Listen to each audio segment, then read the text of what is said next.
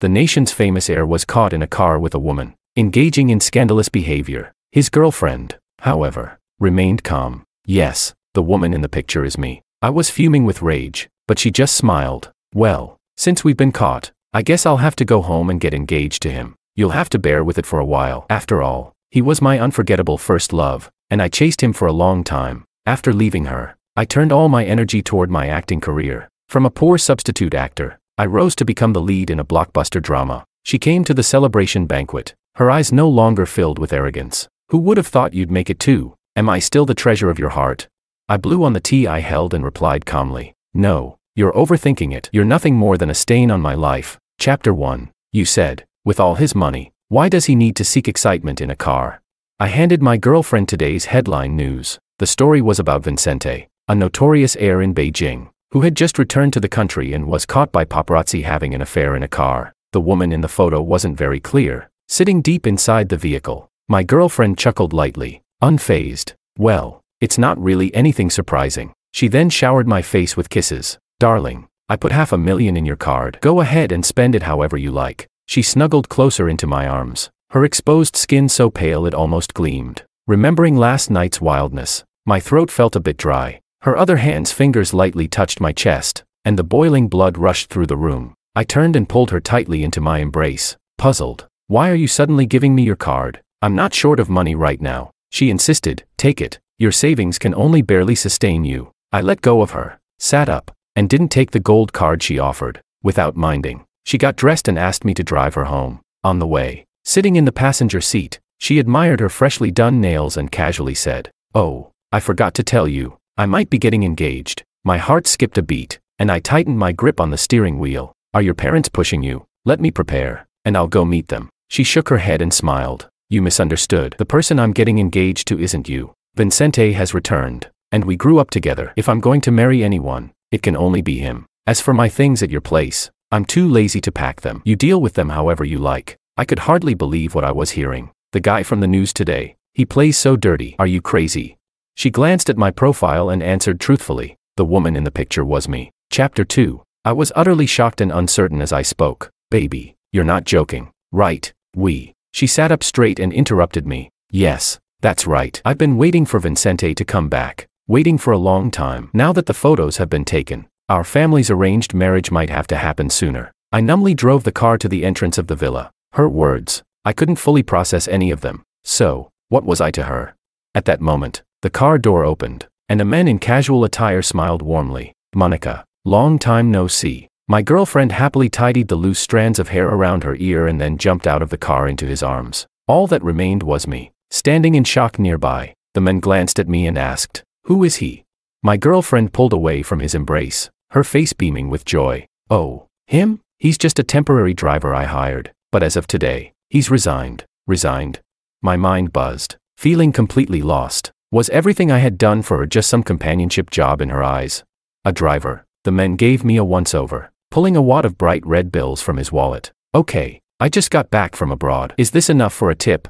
Her affectionate gaze never left him. I think I finally understood her message. I had foolishly thought she was the one destined for me, but in reality, I was just a pawn in their rich family's game. My throat tightened as I stepped out of the car and tossed the keys to her fiancé. No need. Park it yourself. He didn't react in time, and the car keys slipped from his wrist, landing on the ground. His face darkened immediately, and he ordered, Pick them up. My girlfriend grabbed his arm and scolded me. What are you throwing a tantrum for? Aren't you an adult? Show some manners. Apologize to Vincente right now, or don't bother seeing me again. I nodded. Okay, then let's not see each other again. Chapter 3 The villa was built halfway up the mountain, and it was hard to catch a taxi nearby. I walked alone down the mountain road, the winter wind as sharp as a knife, cutting into my face painfully. A familiar red sports car pulled up beside me, honking twice. The window rolled down, revealing Vincente's smug face. Your name's Cameron, right? I've done some research on you. My eyelid twitched.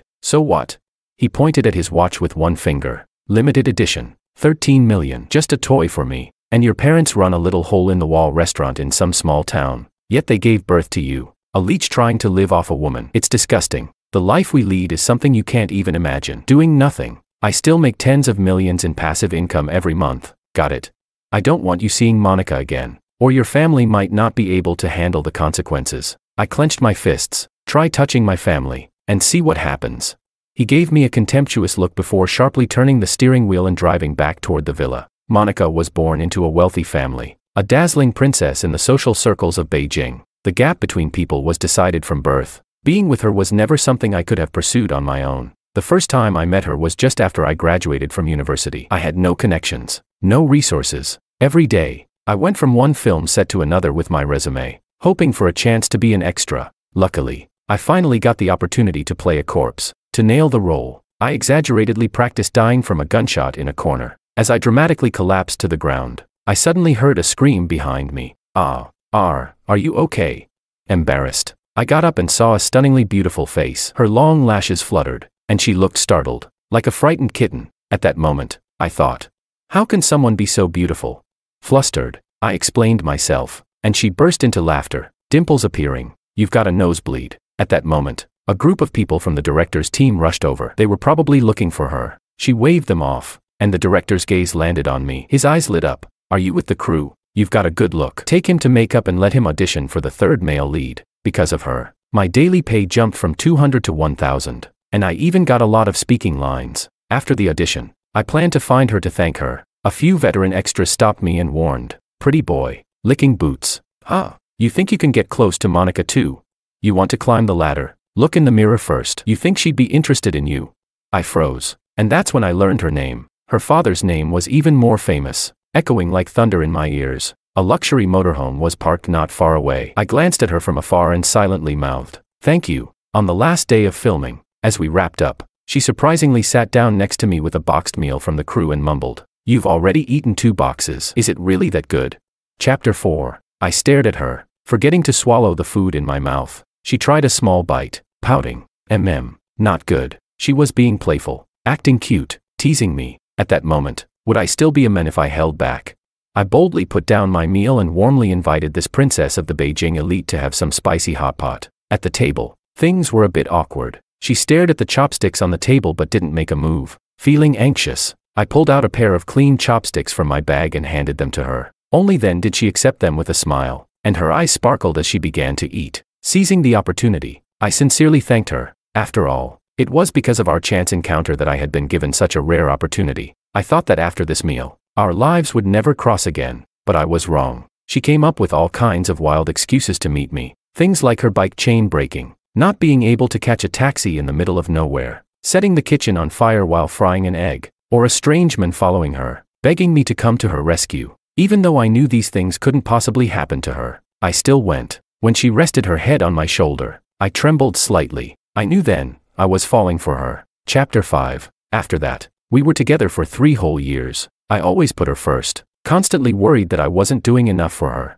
afraid she would feel wronged. More often than not, she didn't act like a spoiled rich girl but more like a clingy, adorable girlfriend, a true treasure. I would often wake up laughing from my dreams. To make things easier when it came time to meet her parents, I worked tirelessly. Every acting opportunity one got, I cherished like it was gold. I pored over every detail of the scripts, rehearsed each line repeatedly, I even controlled my diet for hours just for a few seconds of screen time. Yes, I wanted to prove myself. Even if she lost everything one day, I'd still be able to give her the world. In my eyes, our relationship was stable, passionate, and full of excitement. But on one otherwise ordinary morning, she told me she was getting engaged. Chapter 6 Back home. I sank into the couch, taking a deep breath. A sour feeling spread through my chest. Indescribable. I couldn't spit it out, nor could I swallow it. What a miserable feeling. Her designer clothes and bags filled the closet, and I was wondering what to do with them. Then, Director Zhang called, complaining, Cameron, don't bother coming tomorrow. I'm cutting all your scenes out. What bad luck. With that, he hung up on me. Frantically, I called him back, only to find that he had blocked me. I had poured so much effort into this role, making thorough preparations. I could confidently say no one understood the character better than I did. After asking several acquaintances, I finally tracked down where Director Zhang was. When I arrived at the bar, they had already had quite a bit to drink. To my surprise, Monica and her fiancé were there too. Her long, fair legs crossed elegantly, her eyes slightly hazy, and a faint smile on her red lips. She greeted me first. Hey, didn't we agree never to meet again? Vincente wrapped his arm around her shoulders, staking his claim. Isn't this the guy playing the third male lead, begging directors left and right for scraps? The people around him must have caught the coldness in his voice, and they all began to mock me. These days, young actors will stoop to anything for a role. Can't find an actor from the D list. I've got tons of them on my WeChat. Look at him. Such a pretty boy. Say a few sweet words, and I might just introduce him to some wealthy women. Alright. Cut him some slack. I think he's from director Zhang's crew. Let's do the director a favor and let him stay to pour drinks. Otherwise, he might start crying later. Laughter followed. Loud and full of undisguised ridicule and scorn. Chapter 7. Director Zhang, embarrassed, called me aside and whispered, Are you out of your mind? Get lost. Now. I met Vincente's amused gaze. At this point, how could I not understand? This was all his doing. The fire in my heart flared up in an instant. Three months of preparation. And just because of one word from him, it all amounted to nothing. Monica put down her wine glass and slowly walked toward me. Cameron, your face looks so dark. Are you feeling unwell? Vincente followed closely behind her, glaring at me. If you're not feeling well, go to the hospital. Don't ruin our fun. The next second, Monica, in a familiar and bold move, grabbed my collar and placed her hand on my forehead. The smell of alcohol hit my nose. She was drunk. Huh, you're not running a fever. You're still cooler than me. Vincente quickly wrapped his arm around her waist, pulling her back to him. Monica, I'll get jealous. You wouldn't like him, would you? I hesitated for a moment. Those sweet memories spun in my mind. Everything we shared, how could any of it have been fake? Maybe, just maybe, she was temporarily confused. Could I forgive her? If she made her feelings clear now, I might reconsider. But in the next moment, she playfully stood on her toes and kissed Vincente on the cheek. How could I possibly like him? Vincente, you know how much I missed you all these years without you. Then she turned to me. A poor man's affection is worth the least. Cameron, you didn't take it seriously, did you? How could I take it seriously? I forced a smile, shaking my head. You're not worth it. I repeated. Yes, not worth it. Chapter 8. That night, I sat in my empty apartment, staring into space. I didn't know how much time passed before I finally snapped out of it. Including her in my future plans, what a delusion. Pulling myself together, I headed to the company to sign some contracts. As I walked by, my colleagues shot me strange glances. The vice president called me into his office and handed me a new notice. Cameron, here's the thing. There aren't any suitable roles for you right now, but there's a variety show. A variety show. As an actor, maintaining a sense of mystery is important so the audience can better engage with your future roles. Before I could refuse, his tone left no room for negotiation. The show is in Africa. It's about experiencing African culture. The filming will last one to two years. You should go home and start packing. I let out a small laugh and sat across from him. This is Vincente's doing, isn't it? He pressed his lips together. Cameron, this is a valuable opportunity. Don't be ungrateful. Let's terminate the contract. I stood up. I'll pay the penalty according to the original agreement. For an actor, these young years are the most important. Going to Africa or being sidelined, it made no difference. Quitting still left me with opportunities. Compromising would make it much harder to come back. I packed my things and left the company. I knew it was a bit pathetic, but Vincente wasn't the only one waiting to see me fail. As I reached the front of my building, two drunk men holding beer bottles walked up to me. Without a word, they bumped into me, deliberately letting the bottles slip from their hands. The sound of glass shattering echoed in the air. Are you blind? Pay for my beer. I shoved him aside, my emotions flaring up instantly. Get lost. Tell Vincente if he has guts. He can face me himself. The two men exchanged a glance, and any sign of drunkenness vanished. They quickly pinned me to the ground. My face was pressed hard against the broken glass, and the smell of blood filled the air. You think you're worthy of saying his name? Know your place. They kicked me a few more times before leaving. I had no chance against these trained bodyguards. Leaning against the wall, I made my way back inside and dug out some disinfectant. Fortunately, the wounds on my face weren't too deep, they'd heal. But just then, I got a call from my parents. They asked if I had offended someone. Today, a group of unfamiliar faces had shown up at their little restaurant, asking about me. They ate a lot but didn't pay, saying to put it on my tab. I gritted my teeth so hard they nearly cracked, but I told them it was just a few old friends and not to worry. I knew this was Vincente's warning. He was letting me know that crushing me was as easy as crushing an ant. My life was something he could toy with at his whim. He could create endless problems for me, make my life miserable. After treating my wounds, I saw someone had posted a casting notice in a group chat. They urgently needed a good-looking male actor with some experience.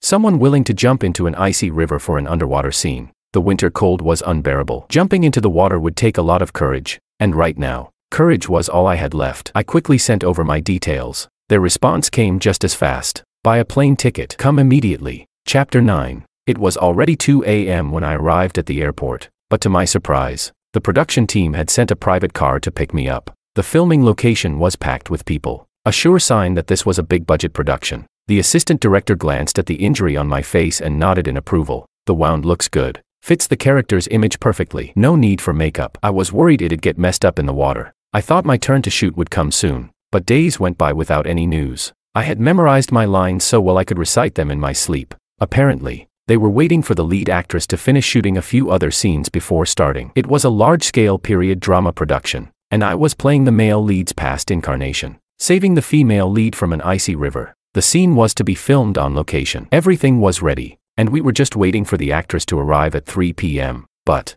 just my luck, it started snowing under the overcast sky. Then, out of nowhere, Monica called me. Cameron, look outside. It's snowing heavily. I didn't say anything. Recalling the first snowfall of the year, back then, Monica had pulled me outside to build a snowman. But the snow was too light, and we only managed to make a small snowball that she held in her hands. When the big snow comes, promise to build me the cutest snowman ever. I hugged her and lovingly agreed. Now, the person building snowmen with her was the one she'd wanted all along. After a moment of silence, I asked, What do you want? She paused for a moment, her voice quieter. Why did you quit so suddenly? Wasn't being an actor your biggest dream? I responded with a grunt. What does that have to do with you? Don't call me anymore. Before I could finish, I heard Vincente's voice in the background. Monica, who are you talking to? There was silence on the other end, but the call didn't disconnect. I could hear the sound of their lips meeting, the heavy breathing between kisses. I ended the call and immediately blocked her number. Chapter 10 The lead actress finally arrived, storming in with her entourage. She had already done her makeup in the car, dressed in a snow-white robe, her cheeks a soft red, and her flowing sleeves fluttering. She looked like an ethereal goddess, holding her script in one hand. She cast occasional glances in my direction. Director, I'm ready. Let's begin. The underwater setup was complete, but the director seemed surprised. Wait, Juliet. Where's your stunt double? The river is freezing. Are you really going in yourself? Using stunt doubles for lead actors was common on set, especially for dangerous or difficult scenes that required professionals. Juliet nodded seriously.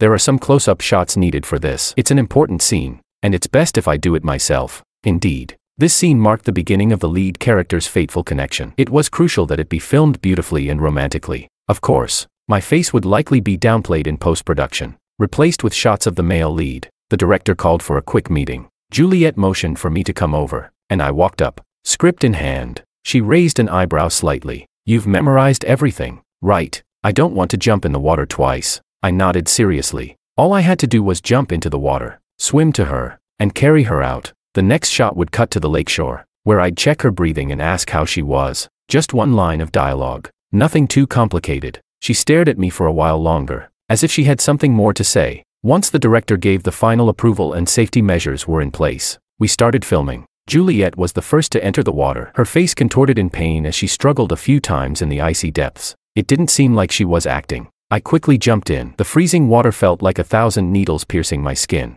suffocating and painful. I swam over to Juliet, grabbing her by the waist. I was supposed to pull her up to the surface, but instead, she placed her hands on my shoulders and leaned her head closer to mine. The intimate gesture caught me off guard, and the safety harness didn't pull us up as planned. With the underwater camera rolling, I forced myself to lean in and kiss her. Juliet responded by wrapping her arms around my neck, naturally deepening the underwater kiss. It wasn't until the safety harness finally started pulling us up that I carried her out of the freezing river. In the next scene by the lakeshore, I shivered from the cold, but I still had to steady my breath to deliver my line. R, are you okay?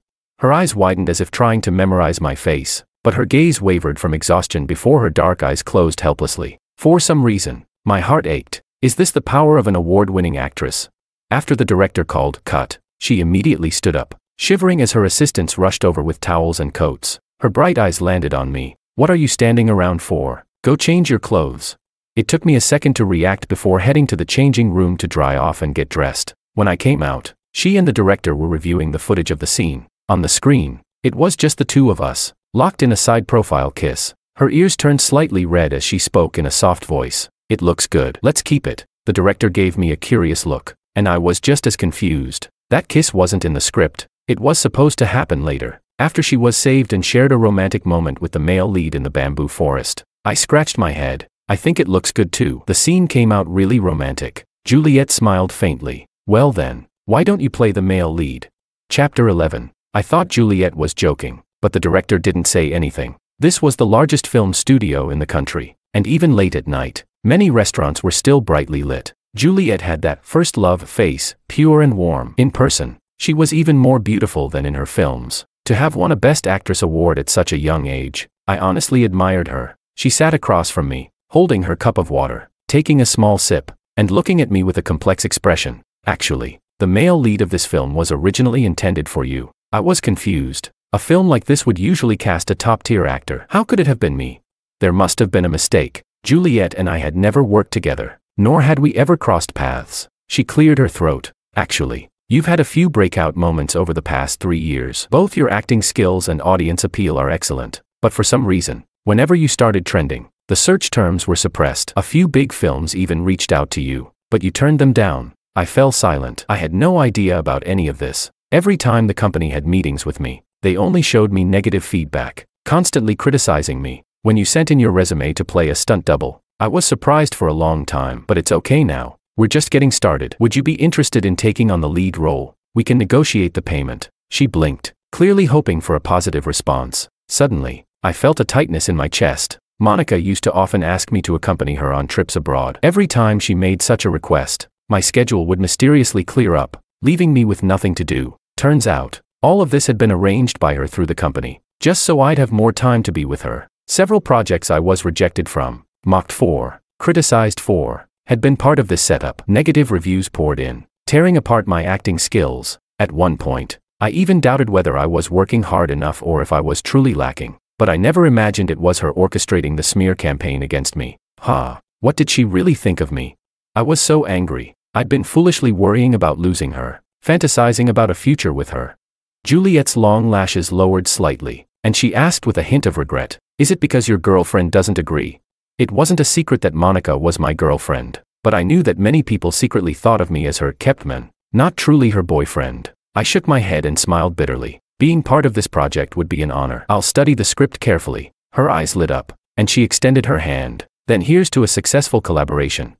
I smiled back and shook her hand, but then my phone rang. Apologetically, I glanced at Juliet and answered the call from an unknown number. On the other end, Monica's voice sounded soft and tired, with a hint of frustration. Cameron, you've grown bold, haven't you? How dare you block me?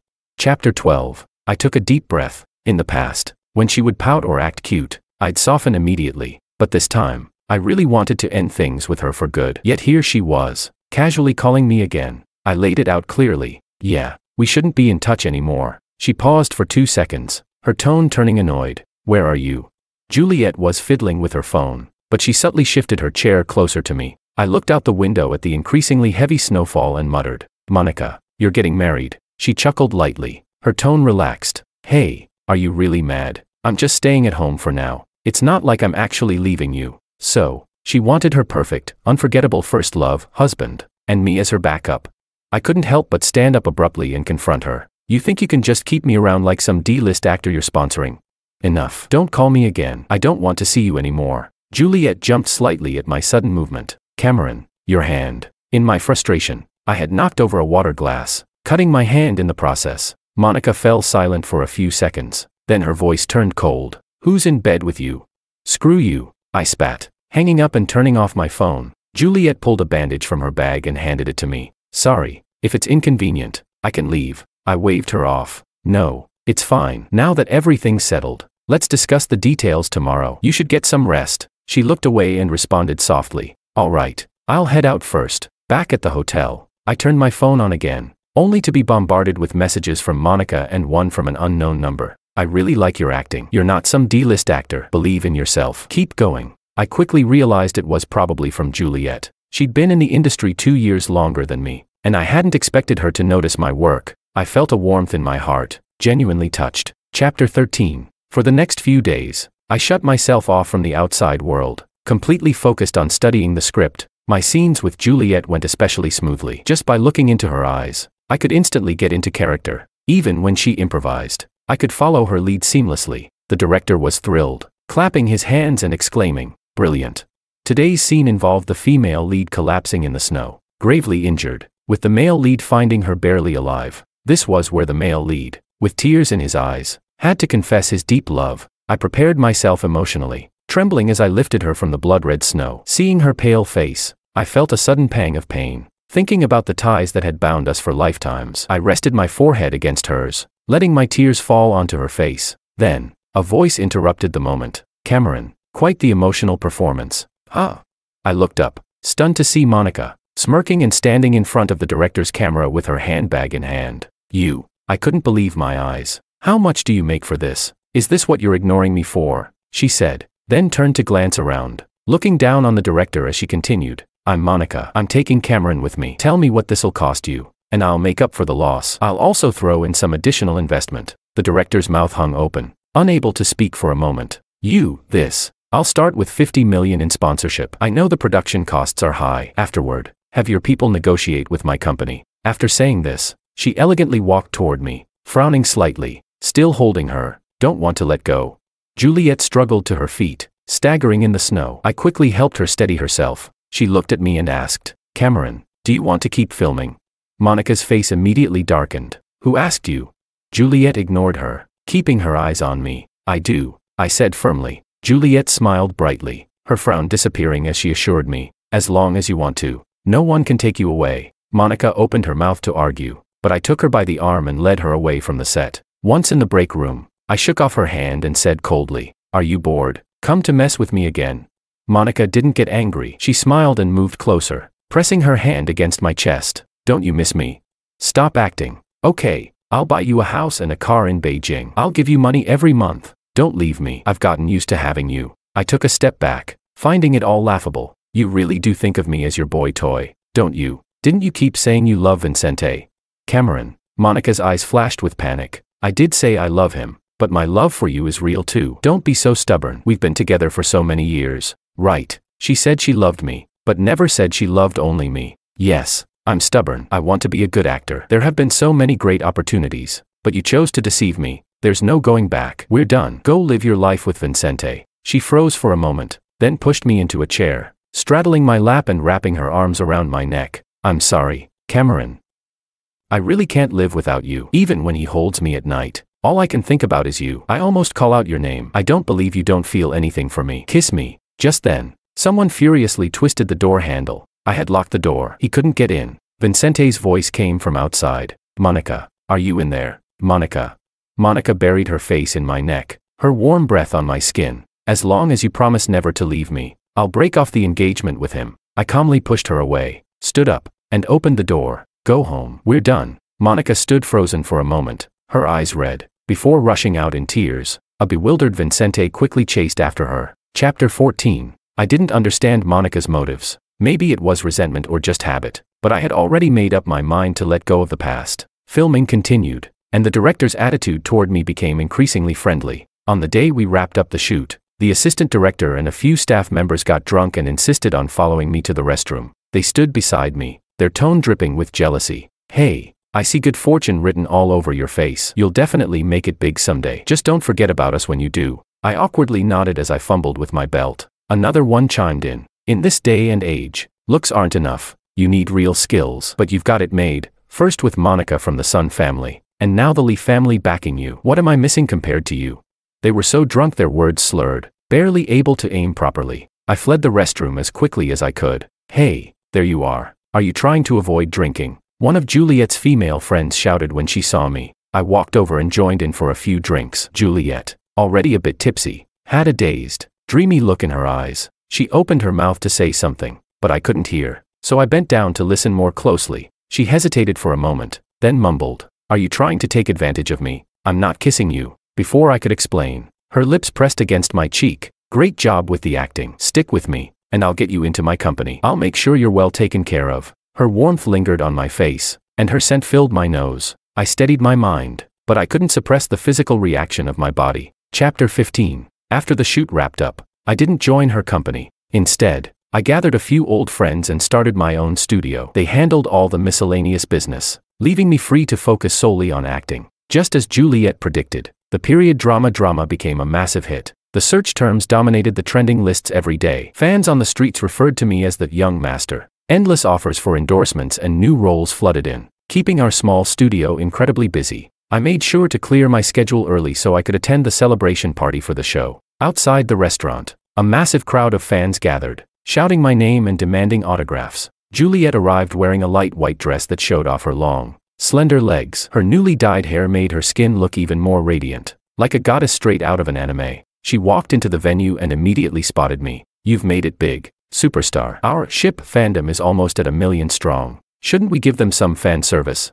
Laughing, I pulled out my phone and took a series of goofy selfies with her. Not far away, Monica arrived with her fiancé, Vincente. True to her word, she hadn't withheld a cent of the sponsorship money. With the drama's success, her share of the profits had been lucrative, so she had every reason to be at the party. Vincente no longer looked at me with the same arrogance as before. Now, his eyes were filled with avoidance. Cameron, congratulations. You've achieved half your dream. Now all you need is to win an award. Monica said calmly. I calmly replied with a thank you. She rambled on about her wedding with Vincente, but I didn't engage. It wasn't until Juliet and I went up on stage that I finally felt a sense of relief. The host egged us on to hug, and Juliet, unbothered, willingly agreed. I took the initiative to give her a friendly hug. The crowd erupted in cheers. Monica, however, sat in the audience with a scowl, glaring at the host as if willing him to end our interview as quickly as possible. But just as we stepped off the stage, the sound system malfunctioned, emitting a piercing screech of static.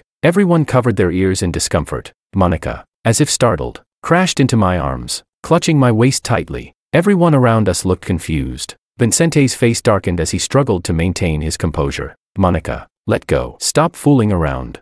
But Monica suddenly burst into tears, and in that moment, I understood. During thunderstorms, she used to curl up in my arms, seeking comfort as I gently soothed her. Cameron, she whispered my name. I don't want to marry him. I only want to be with you. Can we start over?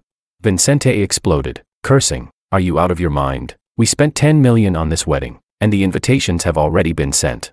Chapter 16. I think I finally understand. Cameron, you're the only one I've ever truly loved. Being with him, I don't feel anything, whether we're eating or sleeping. I can't even stand to be near him. Sometimes I imagine he has your face. Vincente clenched his fists. Monica stubbornly grabbed my hand. Take me away. I'll agree to anything you want. If this had been earlier, I would have taken her without hesitation. I loved her once, but did she ever truly love me? The answer was no. I slowly pulled my hand away from hers, shaking my head. Don't touch me, you're filthy. Tears streamed down her rosy cheeks as she walked away from the party. Her steps unsteady. I watched her go, but I didn't follow. Chapter 17. For a long time after, I didn't hear anything about Monica, but her father came to see me once. She broke off her engagement with Vincente because of you. Come marry into our family, and take good care of Monica. We won't treat you badly. He had a mild manner, dressed simply, but his tone carried an undeniable coldness. Also, stop acting. The Sun family can't afford to lose face. After the wedding, you'll stay home, and I'll find someone to teach you what to do. There's a new car parked outside. Consider it a welcome gift. Go cheer her up. She hasn't been in a good state lately. He placed the keys on the table, waiting for me to respond. I picked up the keys and headed for the door. I'll see her, but after this, I don't want you to bother me again. His expression darkened immediately, his lips moving to say something, but before he could speak, I had already left. It was a brand new black McLaren GT, the license plate not even installed yet. Monica was sitting in the passenger seat the moment she saw me. Her eyes lit up with joy. Cameron, I knew you'd come. I just knew. It turns out she had been waiting here all along. That saved me the trouble of going to find her. I calmly placed the car key on the driver's seat. Some things, once they happen, can't be fixed. I still feel disgusted. When you chose him back then, I went through hell. I don't want to go through that again. I was the one you left behind first. So, don't wait for me. It's pointless. Monica's eyes turned red instantly, and she lowered her head hastily before getting out of the car and running toward me. She opened her arms, trying to hug me. I stepped back. I'm sorry. I was wrong. She shook her head in pain. I shouldn't have been so selfish, getting involved with Vincente like that. I never thought there'd be a day when you'd truly leave me. I. I noticed a car slowly approaching behind her. I walked past her and stopped Juliet's car. Can you give me a ride? Juliet glanced at Monica, then at me, and waved me in. Hop in. In the rearview mirror, Monica stood there for a moment before slowly sinking to the ground. As my emotion settled, I asked Juliet, Where are we going? The soft light traced the gentle contours of her face, even without makeup. She looked stunning. I've got a good script in hand. I was thinking we could talk about it. I nodded and teased. Do we have another love scene? She pouted. What else? You think you can play my son? I laughed. I can play anything. She rolled her eyes playfully. A few days later, paparazzi snapped photos of us in the car together, and we ended up trending online. Fans flooded social media, begging for confirmation. I publicly clarified that we were planning a second collaboration and expressed hope that it would go well. Not long after, Juliet messaged me, Humph, didn't we agree to keep it a secret? I leaned back in my chair, chuckling. After a moment of thought, I posted a new update and tagged her. If we get a second, third, or endless collaborations, would you be up for it? The post exploded quickly. Fans went wild, commenting, Wait, am I seeing things? Or is Cameron confessing? Oh my god, I think I just shipped a real CP. Hours passed, and Juliet still hadn't responded. I felt a bit anxious. She liked me, right? Otherwise, she wouldn't have driven all the way from the film set, pretending it was a coincidence. After hearing that I had met with Monica's father, when I stopped her car, she had seemed nervous. That evening, I couldn't hold back anymore and gave her a call. She picked up but didn't say anything. I cleared my throat. So, have you made up your mind? Are you up for it? She laughed softly. Come find me, and I'll tell you. My heart raced as I rushed out the door. On the way, I rehearsed a long, heartfelt confession in my head, but after just one sentence, she said yes.